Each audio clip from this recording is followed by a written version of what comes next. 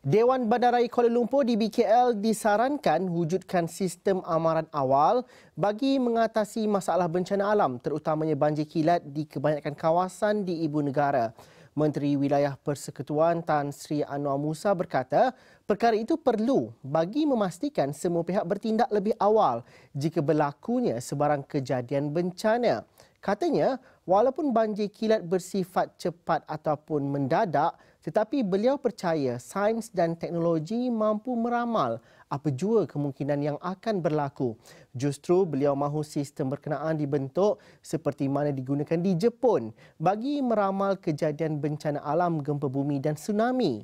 Lembah Kelang dilanda banjir kilat susulan hujan lebat selama 2 jam pada sebelah petang Khamis dengan lima kawasan utama dinaiki air antara 1 dan 1.5 meter.